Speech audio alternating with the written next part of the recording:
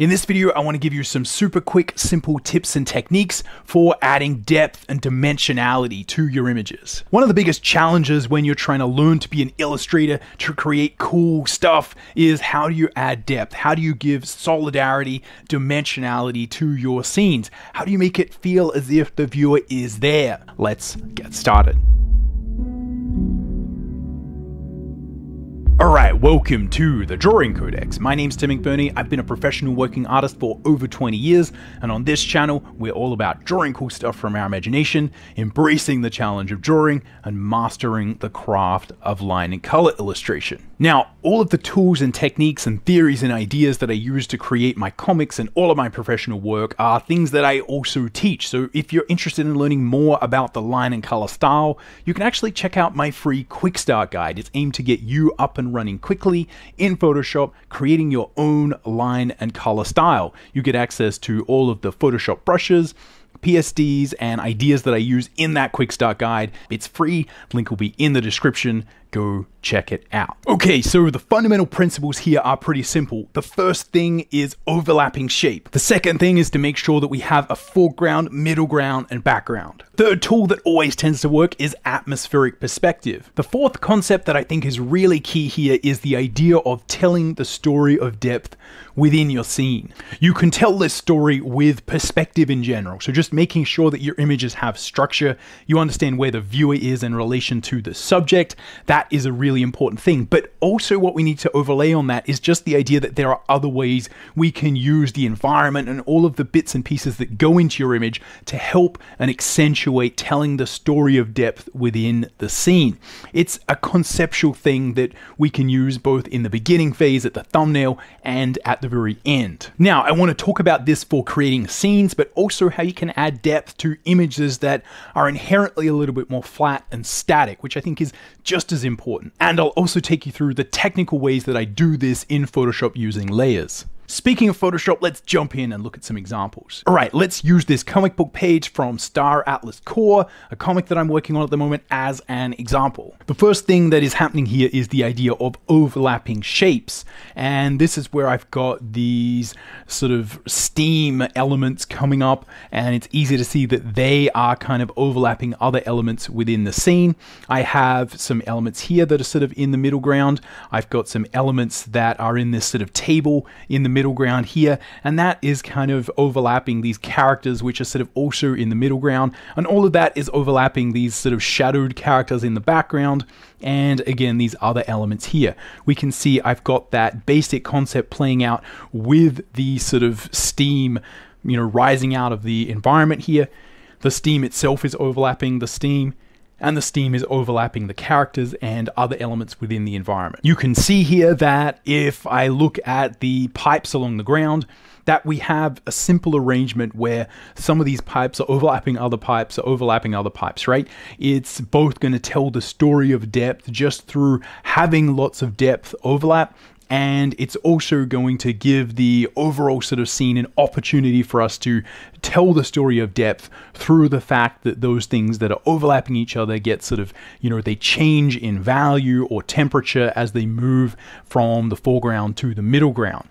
You can also see the same concept happening in the sort of ceiling area here, where I've got, again, a very simple construct, lots of like pipes floating in the air, but again, they're just overlapping each other. This concept of simple shapes is a fundamental tenet of all good composition. If you're trying to create depth within a scene, it is, as some have said, uh, the fundamental principle of all sort of image making, right? It's just having nice overlaps. So the more you do this, the more depth there's going to be in your scene.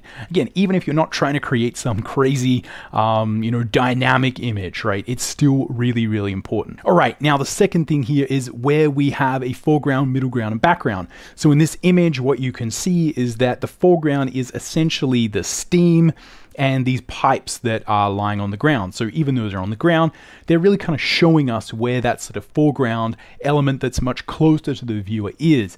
The middle ground is the characters and the little kind of table um, situation in the middle. And the background is, again, everything sort of behind there.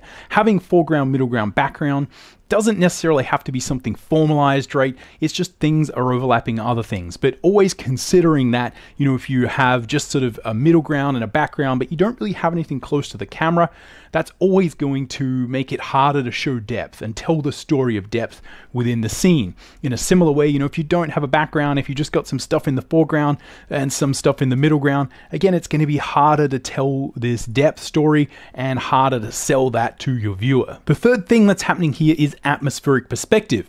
Now, let's just take off the grade so that we can sort of get back to what is the fundamental sort of, you know, underlying blocks of the image.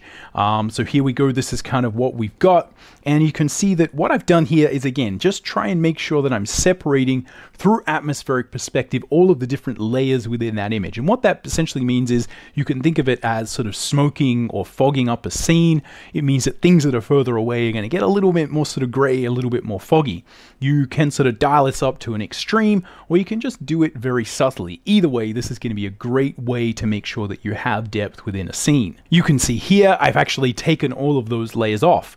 And all that I'm doing is just kind of progressively adding bit by bit a little bit of atmosphere into the scene just by putting essentially big marks of airbrush between all of these different layered elements. So pretty simple concept there. Now, the fourth thing here is the idea of telling the story of depth within a scene, and that is a little bit more of an amorphous global concept. And the way I want to describe it is by showing you the thumbnailing process and the overall process for creating this particular image. Okay, so what we have here is a look at the thumbnail, the plan for the image, also then the finish lines, and lastly the color with all the effects and all of that stuff you saw before.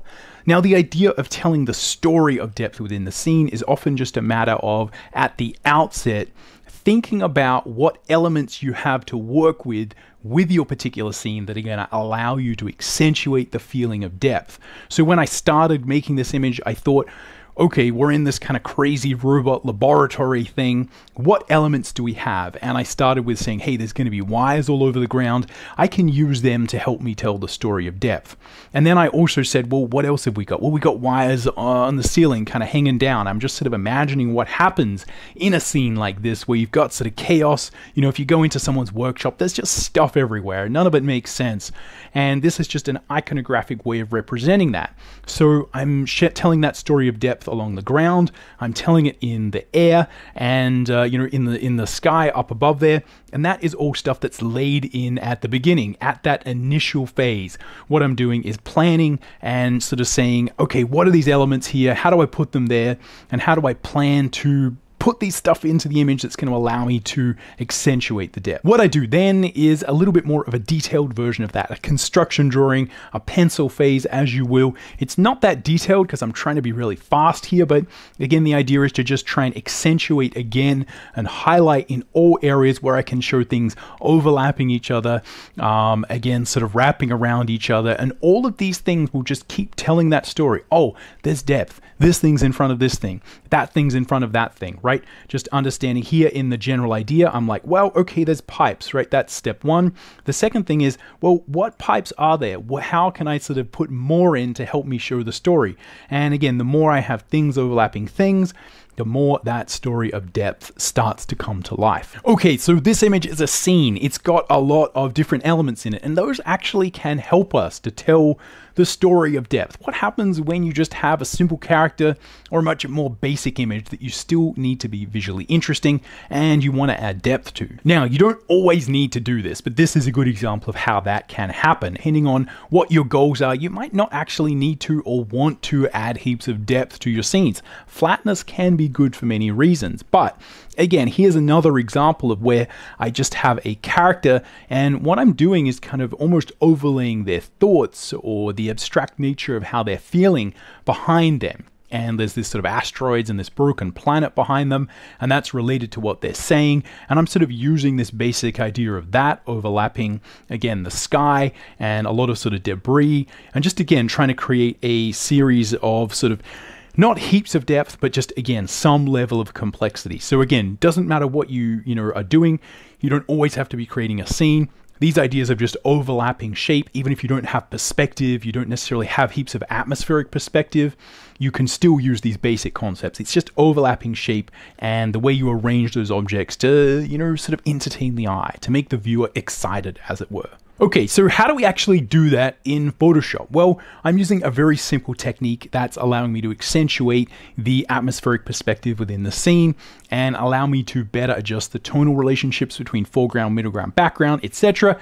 I'm just putting a lot of different elements on different layers. So what I do is I create the plan for the image and I just sort of think about that as a two-dimensional image. What's this going to look like when it's finished? When I do the lines, often what I'm actually doing is making sure that I put the foreground foreground elements on their own layer, the background elements on their own layer, etc., etc. The characters are going to be on their own layer, and that allows me to kind of manipulate it as you saw with that sort of finished image. So just to illustrate that basic point, what we have here is we have a situation where I've got these things here are on their own layer, so I can move them around. I never would move them around, but again, that illustrates that they're on their separate layer. And again, you know, behind and in front of them, I have some atmospheric perspective, which is just, you know, airbrushing some sort of gray, mushy, slightly cool, temperatured sort of paint in between them, right? Very, very simple idea. All I'm doing is just repeating that basic idea again and again and again. And this is just helping me to tell the story of depth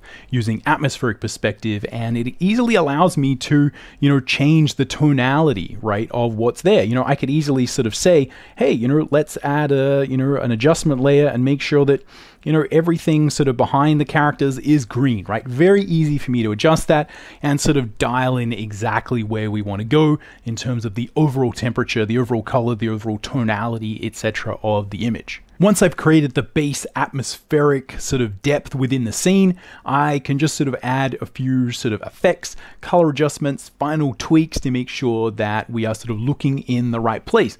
And that's really it. That's all that I'm doing to make sure that I've got depth and sort of dimensionality within this page. Anyway, that's all I've got for this one. Just some quick ideas to help you get more depth and dimensionality within your scene. Let me know down below if you've got any comments or questions. I'd love know what you think of a shorter format like this. Other than that, we'll catch you around. Happy drawing.